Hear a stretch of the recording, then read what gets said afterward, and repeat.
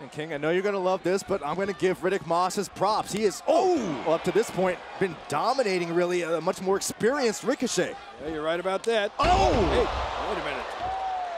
And Ricochet, he has taken a beating here in this matchup, but King, you've got to admit, there's no way Ricochet is 100% after what he dealt with at Super Showdown and Brock Lesnar. You're right about that. And this, the, can you imagine the second title match that this man uh, Ricochet has been in in less than a week? Absolutely right. Now you can see the toll this match has taken on him already around the mouth there of Ricochet. Ricochet just trying to will himself on. You can't think about the past. You got to think about the present and the opportunity to become 24-7 champion. Shot right to the ribs, and that could be a difference maker for Ricochet.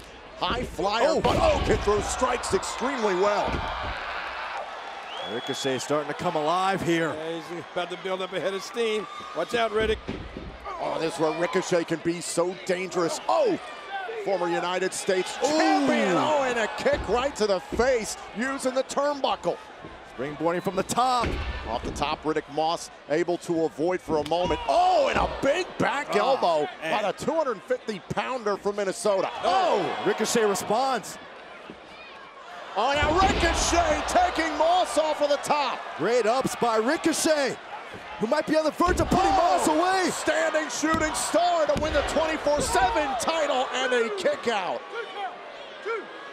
Ricochet having a hard time hoisting up the nearly 250-pound frame of Riddick Moss. Gonna try it again. Oh, oh man. Ricochet deceptively strong. Oh, man, and that elbow really rocked Ricochet. Now just chopped down by Riddick Moss. Ricochet Whoa. using the chest Oh. of Riddick Moss has a launching pad. And Seguri there by Ricochet. Ricochet trying to dig down deep in this fight. Went for the super kick. Oh, boy. Whoa! And a Oh, clubbing blow by Moss. That may have done it. And now the champion. Oh, Oh, good grief. driven neck first into the canvas. And Riddick Moss retains the championship. What about that, guys? Here's your winner, and still the 24-7 champion, Riddick